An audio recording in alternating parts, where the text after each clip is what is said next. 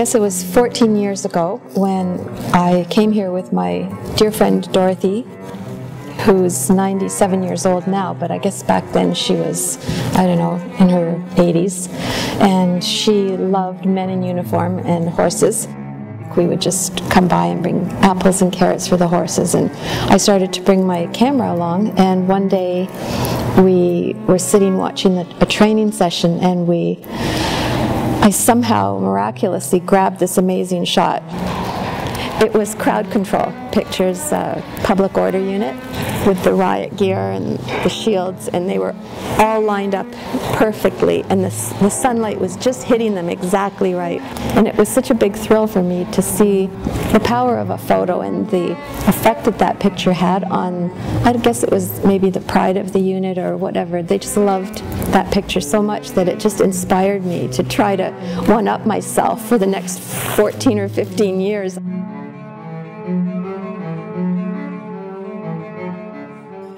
This picture is PC Patrick Penny and Royal standing down at Humber Bay, and there was a storm coming, and the, the fog that just rolled in there was just spectacular.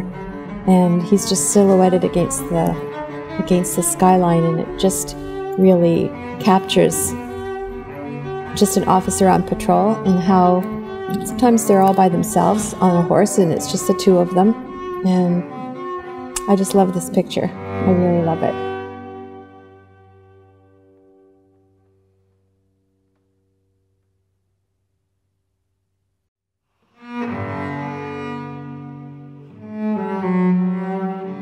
This is when we're in the Trinity Church. Joel wanted his picture taken with Eddie outside the church because his dad was the pastor there back in the day.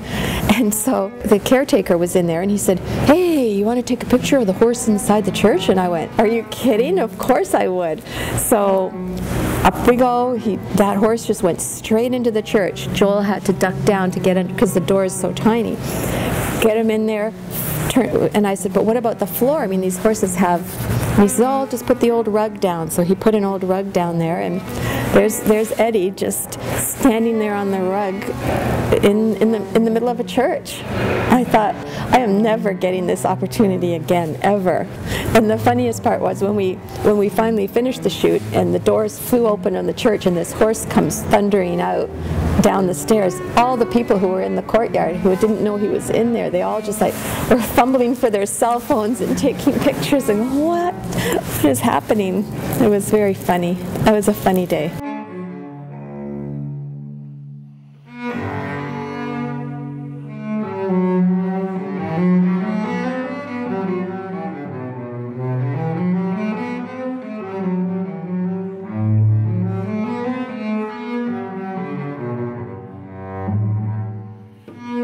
This is a shot of Spencer and Moose.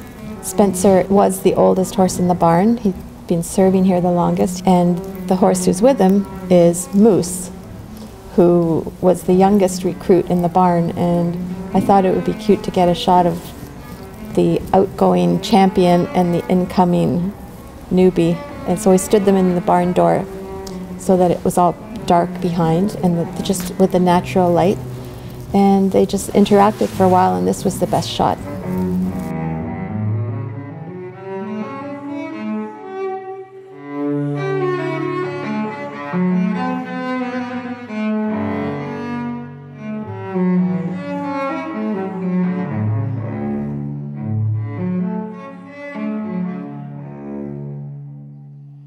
Staff Inspector Bill Wardle, he's the staff inspector for the mounted unit, marine unit, and the dogs.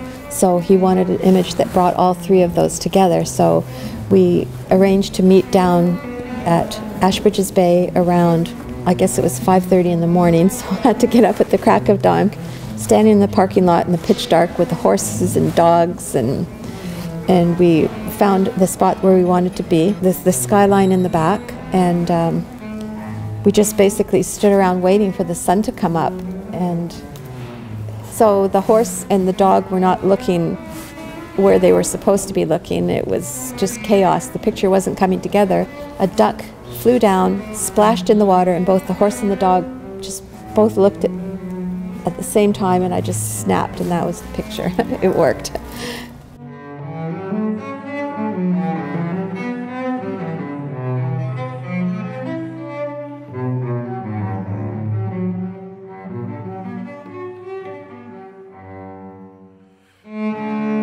A lot of the horses are named in honor of our military and our military history. Juno Beach, um, Vimy Ridge, um, even Grenadier and Brigadier, and they're all military names. So that shot was taken at the Cenotaph in Kew Gardens, a memorial to First World War veterans, and um, that was P.C. Harold Williamson. It was for a Remembrance Day poster, and Actually, it was uh, accidental. First, we shot him on the horse, and then I asked him to get off the horse, and Harold just put his head down, and then the horse put his head down at the same time, and it's just one of those moments where you just take the picture and it just it's just given to you this moment and you capture it and it's a gift.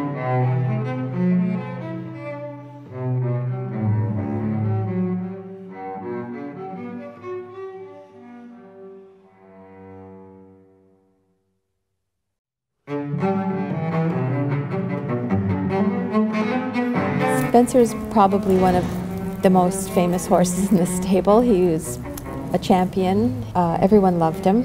And I knew he was going to retire, so I made sure that the day that he was leaving that I was down here and I had it in my head I was going to just do a little mini project on Spencer's last day. So that's PC Patrick Penny taking off his street shoes for the very last time, which was quite a task because they're really nailed on there. And here's Spencer with his bare feet, finally. And there's his gigantic shoes. Uh, here he is getting led out of the barn for the very last time with a mouthful of hay, getting in the trailer. Off he goes to the country, and he's gone to an absolutely beautiful farm. And here he is discovering his new paddock, and this is his new life, kicking up his heels and just absolutely loving it. It was just such an emotional moment for me.